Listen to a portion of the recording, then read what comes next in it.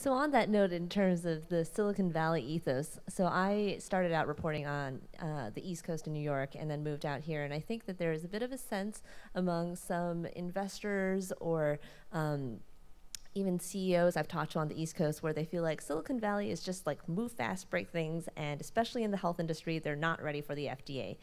Is that a fair assessment? I, you know, I think it is. I, um, I, Anne, our CEO, was giving a talk similar to an audience, of young entrepreneurs, and um, and she was talking about the regulatory process, and she said, you know, we had to go, we had to file a 510k, and someone raised their hand and said, um, you know, oh, is, is, that like a form you download online? Like, where do you download the 510k? And um, she then relayed this to an audience of pharma execs who all like erupted in laughter uh, and, and, and therein lies the divide, that there, I think, is like an educational divide among new rising entrepreneurial companies and also um, this desire to want to just move quickly. And I think there has to be a balance. And we've learned that the hard way, that there, you know, when we're talking about health and safety, there is a regulatory framework that they have to abide by. And so, you know, I think the companies that, that try and balk that system, it, maybe in some industries that works, but um, certainly when we're talking about, you know, the healthcare industry, I, it, you know, I think you have to comply.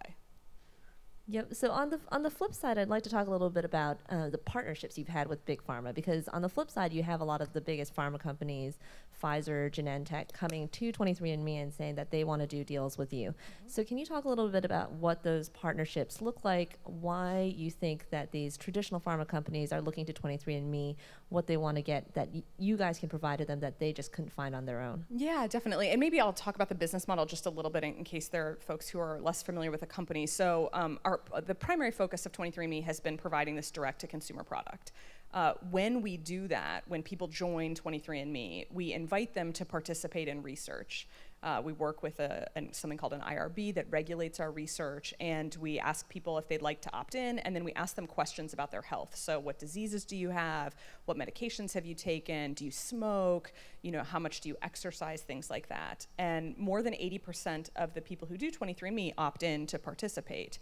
And that's enabled us to create the largest database really in the world of genetic information and information about health, uh, you know, that we can then combine for research. And so the business model, there's this direct consumer piece of the business model.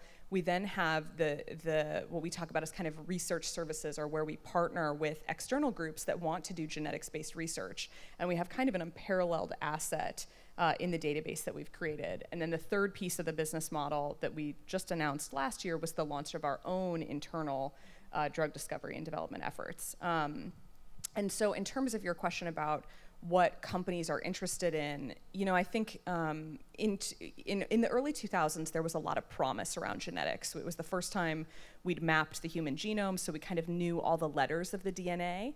Uh, and there was all this enthusiasm that by mapping the human genome, we were really going to solve all of these very intractable diseases Alzheimer's, epilepsy, things we couldn't, you know, that we hadn't been able to tackle before.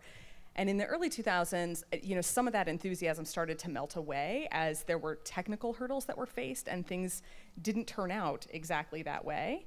And now I feel like we're kind of swinging on the other side of it where the technology has evolved it's cheaper, we have more data, um, and we're able to now start realizing some of that promise the promise of genetics, the promise of big data. And so, what pharma partners are looking to with 23andMe is um, a way to bring in information about humans and DNA into that drug discovery process. So, a lot of drug development historically has been uh, predicated on studying things in animals um, which can have a lot of challenges when you translate that to humans. And so currently, like nine out of 10 drugs fail when you put them in a human in a clinical trial. And that's why in that's why it costs you know 2.5 billion dollars to bring one new medicine to market, is because you're paying for all the failures that happened leading up to the one that worked. And that was one out of 10 that you put in humans. It's probably one out of 100 or one out of 1,000 that you kind of started the development process with. And, um, and so in recent years, we've started seeing these examples of drugs, of therapies that have been based on human genetic data, where people have been identified that have these like really rare conditions that seem to be driven by genetics, and then it turns out that they can isolate what the gene is and it's druggable and they can target it. So one example is like PCSK9. Um, and that's a gene that was identified in, in several groups of people maybe 10 years ago. And turns out it's a really great drug target. And now there are three different companies that have uh, cholesterol lowering medications targeting that particular gene. And, and so the probability of success was so much higher there. And I think that's what 23andMe has been able to bring to some of our partners is the ability to bring in human genetic data into the development cycle so that your probability of picking the right drug target can go up.